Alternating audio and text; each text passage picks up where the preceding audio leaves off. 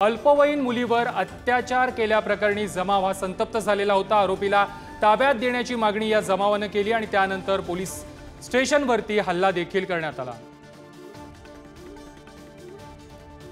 या संदर्भात अधिक माहिती देत आहेत आमचे प्रतिनिधी सचिन गोसावी. सचिन सध्या जळगावमधील परिस्थिती काय आहे? परिस्थिती नियंत्रणात आहे का? निश्चितच आपण जर बघितलं तर काल जामनेरमध्ये जमाव संतप्त झाला होता. त्यांनी रस्ता रोको केला. आरोपीला ताब्यात द्या अशी त्यांची मागणी होती आणि पोलिसांनी त्यांना शांततेचं आवाहन केल्यानंतर जमाव संतप्त झाला आणि जमावाने पोलीस स्थानकावर दगडफेक केल्याचं देखील आपल्याला पाहायला मिळालं. या संपूर्ण घटनेमध्ये जवळपास पंधरा पोलीस कर्मचारी जखमी झाले होते. त्यापैकी सहा जे पोलीस कर्मचारी आहेत त्यांच्यावर अजून देखील खासगी रुग्णालयात उपचार सुरू आहे. आणि आपण एकंदर जामनेरची जर परिस्थिती बघितली तर जामनेरमध्ये आता देखील तणावपूर्ण शांतता आपल्याला पाहायला मिळते आहे.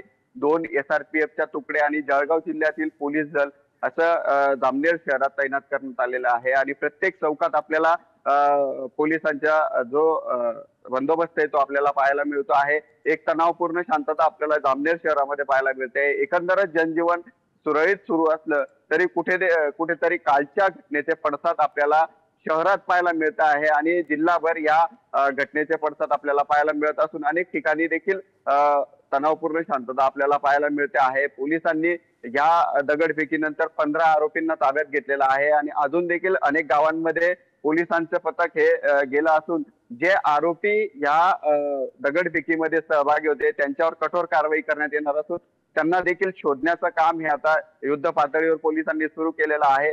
त्याच पद्धतीने ज्या नराधमाला ज्या आरोपीला पोलिसांनी ताब्यात घेतला आहे त्याची देखील आता त्याला रुग्णालयात घेऊन त्याचं मेडिकल केलं जाणार आहे आणि लवकरात लवकर त्याच्या विरोधात चांगले पुरावे सबळ पुरावे जमा करून ते न्यायालयासमोर चार्जशीट दाखल केलं जाणार असल्याची देखील पोलिसांनी माहिती दिली आहे.